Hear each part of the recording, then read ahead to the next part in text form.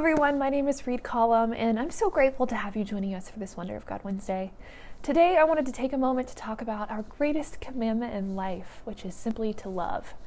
Mark chapter 12 says this The Lord our God is the one and only Lord. You must love the Lord your God with all your heart, your soul, your mind, and your strength. The second is equally important love your neighbor as yourself.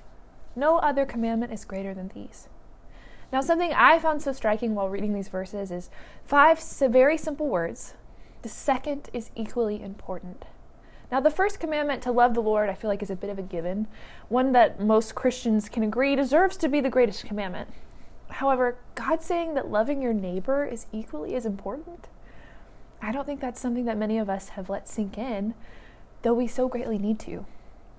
For the entirety of Christ's heart to be exemplified through us, we must believe that loving our neighbor is equally as important as loving our God.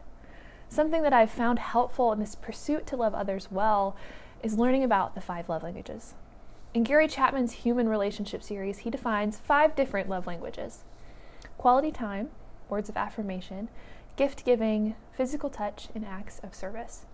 As I've studied these love languages more and more, I've begun to ponder how I can use the knowledge I've collected about them in ministry and fellowship.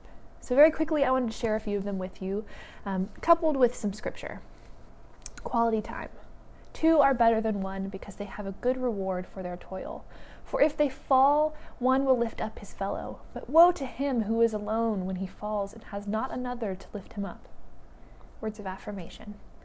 Gracious words are a honeycomb sweet to the soul and healing to the bones. Gift giving. One who gives freely grows all the more richer. Another withholds what he should give, only suffers want. Whoever brings blessing will be enriched, and one who waters will also himself be watered. Physical touch. Greet one another with a holy kiss, and all the churches of Christ will greet you. Acts of service. Then he poured water into a basin and began to wash the disciples' feet and to wipe them with the towel that was wrapped around him.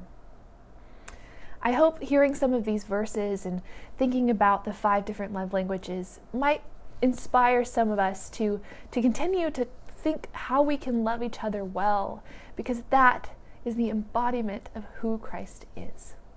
Thank you for joining us for this Wonder of God Wednesday.